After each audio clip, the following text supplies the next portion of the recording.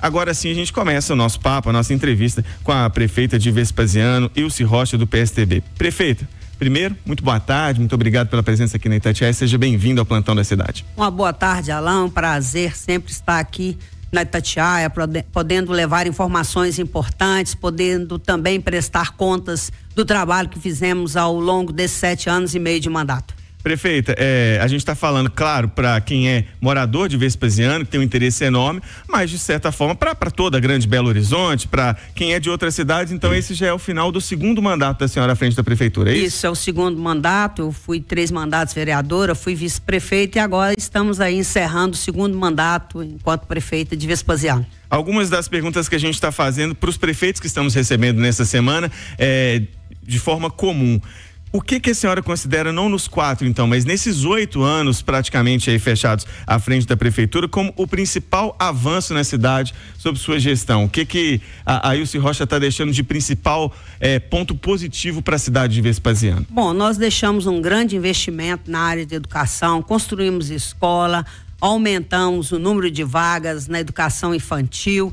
É, é, a gente agora está também aí fazendo ensino integral, que é muito importante, aumentando essas vagas é, para todos os nossos alunos. Na saúde a gente investiu muito. Quando chegamos, tínhamos apenas é, oito programas de saúde da família. Estamos agora passando para 30 programas de saúde da família. Tínhamos um SEMI, um centro de especialidade médicas, apenas oito especialidades. Hoje estamos deixando com 22 especialidades, isso é muito importante.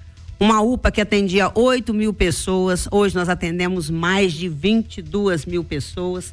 Então é um trabalho grande. Na, é, a gente, nós asfaltamos mais de 245 quilômetros foi de asfalto é, novo que a gente levou para a cidade. Hoje a nossa cidade ela está muito mais estruturada e isso facilita mais a vida de todas as pessoas.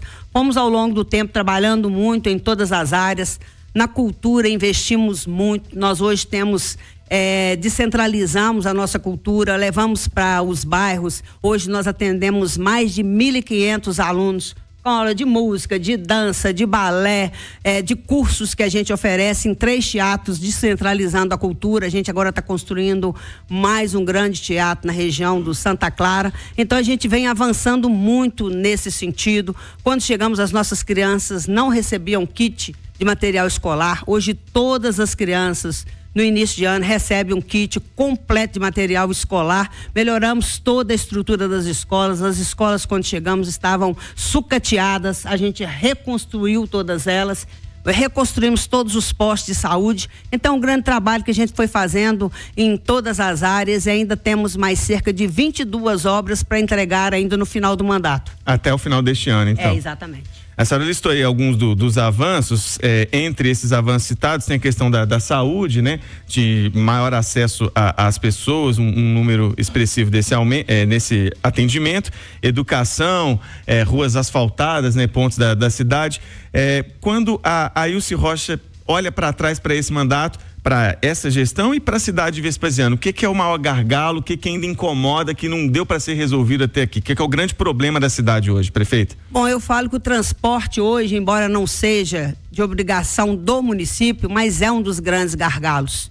Não só em Vespasiano, mas em toda a região metropolitana. Ao longo do tempo, na Grambel a gente cobrou muito essa qualidade de transporte, as pessoas sofrem no dia a dia, é uma cobrança muito grande é, dos prefeitos, mas na realidade a gente tem conversado com a CEINFRA, a gente conversou com as empresas, vem fazendo esse diálogo para melhorar a qualidade do transporte e que a gente possa melhorar também. Os ônibus que estão muito sucateados, os horários que não atendem a nossa população e é um sofrimento para quem sai do centro de Vespasiano para chegar a Belo Horizonte ou qualquer outro lugar, o transporte é uma das coisas que a gente vem trabalhando é, não só em Vespasiano, mas na região metropolitana e que eu ainda sinto que tem que melhorar muito. Prefeita, a senhora citou esse transporte que faz a ligação das regiões metropolitanas com a capital, Belo Horizonte. E assim que eu anunciei que a senhora estaria participando, algumas perguntas começam a chegar aqui também no nosso YouTube. É uma das nossas ouvintes aqui, a Raquel, que fala, quer falar mais sobre isso, sobre o transporte público. Ela está reclamando, é moradora do bairro Nova Pampulha. O que, que a prefeitura eh, de efetivo pode fazer no, no, no transporte de dentro da cidade? E aí eu emendo com uma pergunta: existe alguma possibilidade eh, de um programa como Tarifa Zero que existe em outros municípios? Ou isso é algo que no momento não é viável para a cidade, por quê? Olha, o intermunicipal a gente fez, é, para você ter ideia, nós ficamos quase seis meses sem transporte. Uma coisa assim que normalmente era até é, o transporte clandestino que atuava na cidade, a gente conseguiu rever isso. Hoje investimos cerca de 300 mil para que a gente possa ter esse transporte interno e ele ainda é um pouco deficitário. A gente ainda tem que melhorar, tem que melhorar a qualidade dos ônibus, melhorar a qualidade nos horários desse transporte interno. E aquilo que eu disse, das outras empresas que não competem ao município, mas que a gente vem trabalhando coletivamente na Grambel, a gente vem buscando junto a todos os órgãos, junto ao Estado, eh, às empresas, para que a gente possa melhorar, porque o sofrimento da população é muito grande, é uma das coisas que mais me cobram. Me cobram até enquanto presidente da Grambel quais uhum. foram as atuações que nós fizemos e ao longo desse tempo reunimos constantemente na Grambel, chamamos aqueles que fazem o transporte no dia a dia, mas melhorou um pouco, mas ainda tem muito a, a melhorar. Prefeita, mais uma pergunta ainda nesse nosso bloco aqui da, da, entrevista. O Luciano Gomes Carvalho, também participando aqui no, no YouTube, falou que é morador do, do Morro Alto. Ele está pontuando aqui para ver se a prefeitura consegue ajudar na questão que a CEMIG, segundo ele, parou com instalações elétricas na região, mas em relação a, ao lixo na, na, nas ruas. Como é que é o trabalho de limpeza urbana hoje no, do município? Está tá atendendo? A prefeitura está tá incomodada com o trabalho que está sendo feito? No caso da região aqui é do Morro Alto. Olha, é um trabalho exaustivo que fazemos ao longo do tempo. Hum. E eu falo que precisamos também conscientizar a população. Fazemos a limpeza urbana, mas as pessoas ainda não conscientizaram, deixam o lixo em dias que não são aqueles que é de coleta, eles jogam resíduos é, de construção na rua. A gente faz um serviço constante e é, nesse trabalho de manter a cidade limpa.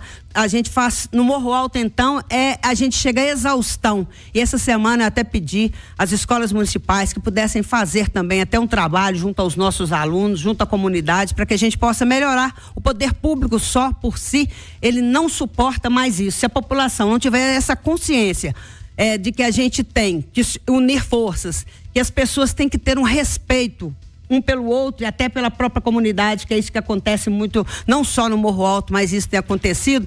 E essa semana eu conversava com o nosso secretário de Meio Ambiente e ele falava: olha, está quase impossível o que vem acontecendo na cidade com relação ao que a gente faz em todas as regiões é, buscando. Caminhões que passam na região central, para você ter ideia, eles passam de manhã e à tarde. A gente tem horários vai aumentando esses horários.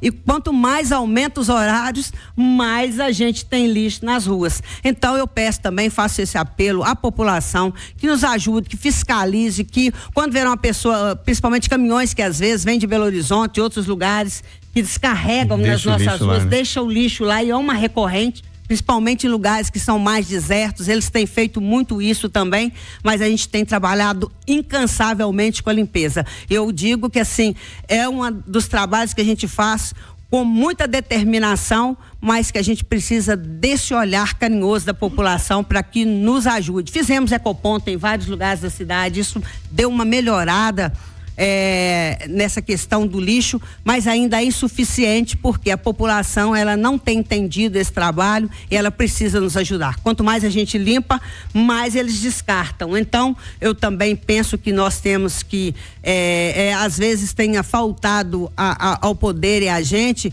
fazer um, um, uma fiscalização maior e chegar mesmo a esse, essa pessoa que faz isso e ele ser punido por, por isso que vem fazendo. E às vezes a gente deixa muito isso, Foca não mais quer punir. na limpeza, né? É, focar mais nisso e é uma uhum. das coisas que eu entendo que a gente tem que caminhar muito, mas eu volto a repetir. Sem a ajuda da população, nós não conseguiremos, porque a gente tem feito o possível e o impossível para manter a cidade limpa. Hoje recebendo a prefeita de Vespasiano, Ilse Rocha, do PSTB, que é também a presidente da Grambel, Associação dos Municípios da Região Metropolitana de Belo Horizonte.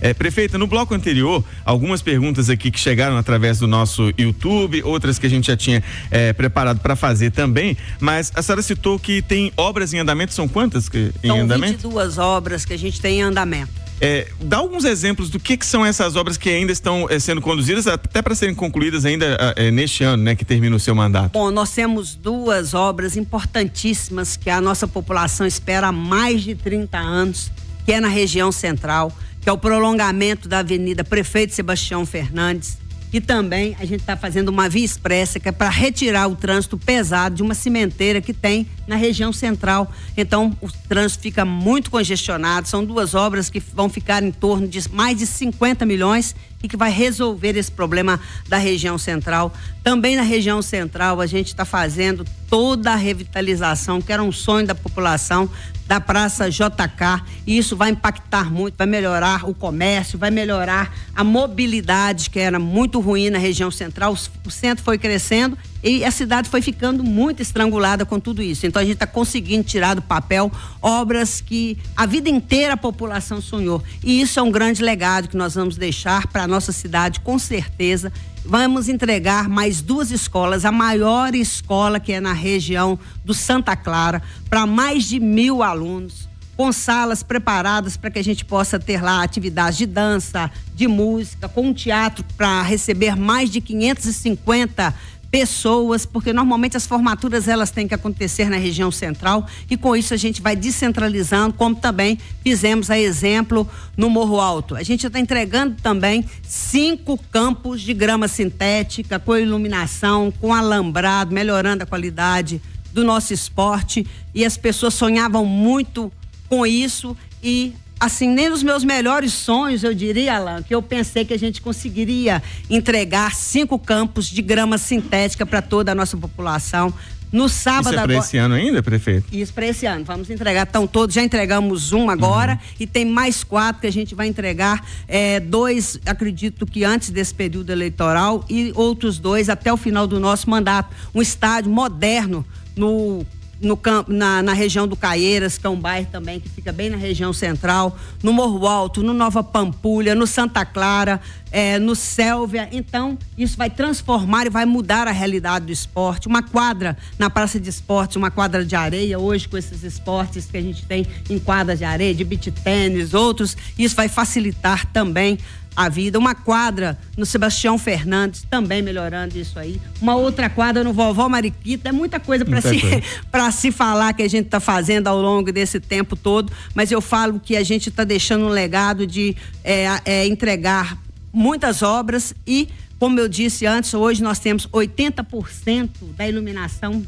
de LED no nosso município e estaremos concluindo 100% até o final do nosso mandato. Com isso, também a gente conseguiu investimentos na ordem de mais de 35 milhões de reais da CEMIG, que é muito difícil você conseguir retirar isso da CEMIG nos dias de hoje, não é fácil, mas a gente vai melhorar muito né, a qualidade da iluminação, esses picos de energia que tem. Né, e foi uma luta grande também da Grambel, que a gente fez junto da CEMIG, sempre cobrando né, uma melhor iluminação. É, na linha verde a gente brigou muito, até junto a deputada Nayara Rocha, que é deputada da nossa região, e a gente está conseguindo também. A linha verde estava toda apagada, parecia árvore de Natal piscando. E a gente está conseguindo agora. Hoje tivemos né, com o Pedro Bruno, com o pessoal da CEMIG, vai mudar essa iluminação. Eu sempre falo que o aeroporto de Confins liga o mundo a, a, a, Minas Gerais e Minas Gerais ao mundo. Então não era mais admissível que a gente não tivesse essa iluminação e também está melhorando a qualidade, a sinalização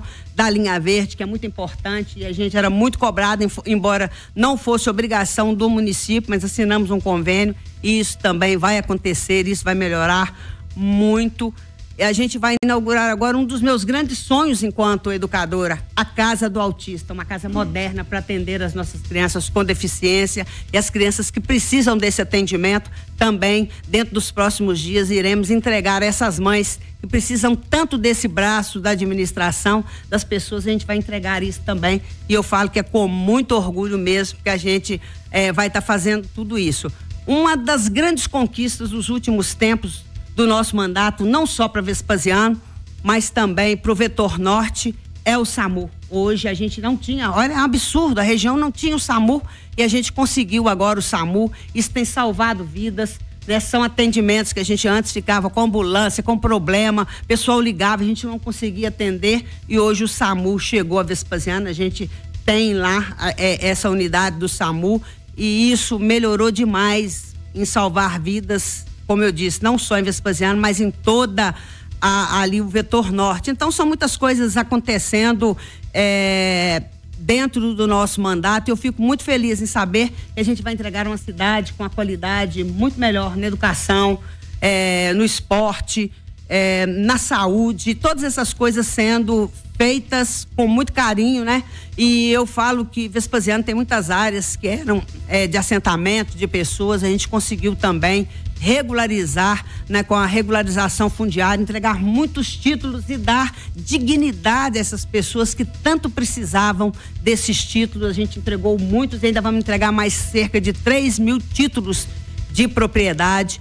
Na região do Morro Alto fizemos um investimento fantástico que é a Lagoa do Morro Alto, que hoje é um cartão postal do nosso município. Ficou muito linda, uma obra também que mudou a realidade daquela região e iremos entregar agora uma subprefeitura e o grande sonho daquela região que conta com mais de 40 mil pessoas era ter um banco e a gente também está conseguindo levar para lá a Caixa Econômica Federal. Então são muitas coisas acontecendo, a gente ficaria aqui para falar muito tempo de tudo que a gente está realizando e eu falo que um dos grandes problemas é que às vezes as coisas vão é, caindo no esquecimento. Essa semana fizemos um jornal de prestação de contas, Alan, e nada mais nada menos 43 páginas só desses quatro anos, o pessoal né? da comunicação trabalhou lá. Trabalhou né? muito para que a gente pudesse apresentar tudo isso para a população e eu falo que ainda faltam aí seis meses e tem muita coisa boa para acontecer, tem muito investimento para acontecer e eu fico muito feliz em saber que a gente mudou a realidade da nossa cidade, que a gente tirou do papel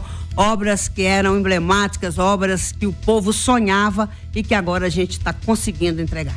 Prefeita, um bom resumo, um balanço do que está sendo feito, que ainda está em andamento, né? É, Para fechar, eu queria que a gente rodasse um, um áudio, uma denúncia que chegou de falta de água e já adianto que não é a prefeitura que tem que resolver, mas por que eu estou trazendo esse assunto? Porque é a população ali da cidade que, que sofre, mas não só de Vespasiano, é um problema que acontece é, na região metropolitana co, como um todo. Vamos ouvir qual que é a reclamação primeiro é, do, do Elias, ele é morador é, do bairro Gávea. Vamos ouvir a reclamação aí, roda aí, peixe. É, o caso é o seguinte, aqui no bairro Gávea, não é a primeira vez que isso acontece. Aqui normalmente a gente tem aqui o. A gente foi tecnicamente esquecido pelo. Eu posso colocar a palavra pelo governo, né? Porque infelizmente é assim. É, igual, por exemplo, eles avisaram pra gente no sábado, só que interessante assim, eu mesmo não recebi, que eu tenho o aplicativo da Copaz, eu não recebi. Algumas pessoas falam que receberam, outras já não receberam com o mesmo aplicativo. E a água começou a acabar no sábado, volta das três horas mais ou menos. Domingo já estava sem água e ficou até na promessa dele seria até 5 horas da tarde, 7 horas da noite, né? No domingo. Aí foi na segunda, foi ontem, o dia todo. Ligava para lá, não, para ficar tranquilo, até as duas horas da tarde. Deu três horas nada, a gente ligou hoje, 7 horas da noite. E agora, de manhã, a gente ligou, não, para ficar tranquilo, já tá ligada a água. Só que agora, por volta de 14 horas, foi que começou a dar os tirinhos aqui, aquele tiro que dá na, no relógio, né? Então, quer dizer, isso aqui não é a primeira vez, constantemente, entre 15 e 20 dias, costuma dar uma panezinha de água aqui, e muitas até sem eles avisarem. Essa é a denúncia do, do Elias e a Copasa respondeu que os bairros Gávea 1, Gávea 2, Jardim da Glória e Maria José em Vespasiano apresentam intermitência no abastecimento em função de uma manutenção em uma das bombas de abastecimento. Até um problema que está afetando, segundo a Copasa, alguns bairros de Santa Luzia. As equipes já estão no local para normalizar o abastecimento o mais breve possível. Sempre que vem uma nota com esse o mais breve possível, me dá um arrepio, porque não tem uma data certa, um horário que a, que a Copasa está tá marcando. Por que, que eu estou perguntando isso, prefeita, para a gente fechar o nosso papo? Como já citado em outros momentos, presidente da Grambel, a associação que reúne os municípios da região metropolitana. E é uma cobrança constante das prefeituras e, claro, do, dos moradores. Como é que está essa situação, essa relação com a Copasa para a situação de Vespasiane e para Grambel? Olha lá, gente tem reunido muito com a Copasa também, conversado, melhorou o diálogo, mas ainda temos recorrência em falta de água em alguns bairros. A gente tinha isso muito recorrente no Sueli, que é um banho Vida Nova, a gente conseguiu um reservatório para lá. Aquela região do Gávea, do Serra Dourada, do Jardim da Glória cresceu muito. Com isso, eu entendo que o gasto aumentou muito de água e vai tendo realmente esses picos e eu falo que quando te, falta água é culpa do prefeito, é culpa da prefeita. Quando falta luz é culpa da prefeita. Mas eu acostumei com isso. Mas uma das coisas que eu faço é ligar, estar atenta a tudo isso, cobrando da Copasa que possa prestar o melhor serviço é, na, né, na água e também no que eles fazem de manutenção das redes, é uma recorrência também. Quando cortam as nossas ruas e deixam lá buracos lá, ou que faz a compactação de maneira muito irregular, mas a gente tem trabalhado muito junto à Copaz. E quando esse, entra esse tempo que é de estiagem, aumenta mais isso ainda, que aumenta o consumo de água, o calor, e aí a situação ainda fica pior. Mas estamos trabalhando junto da Copasa, cobrando é, medidas é, mais rápidas, porque fica até sem luz, mais água, a coisa complica bastante. Prefeita Ilse Rocha de Vespasiano e também presidente da, da Grambel conversou com a gente aqui no plantão da cidade dessa terça-feira.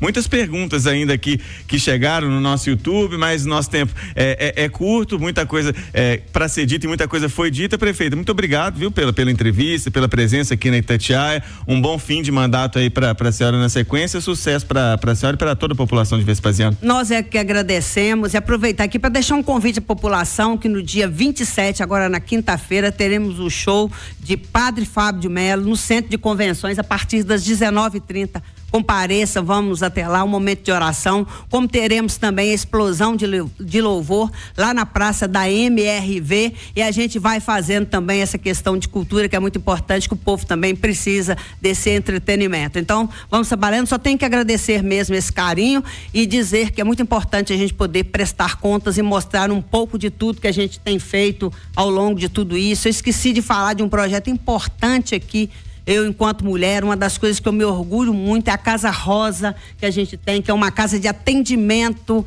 às mulheres, onde as mulheres vão quando tem qualquer problema e a gente atende com uma agilidade muito maior a todas as mulheres de Vespasiano. Tá certo. Prefeita de Vespasiano, Ilse Rocha, que conversou aqui com a gente. Um abraço.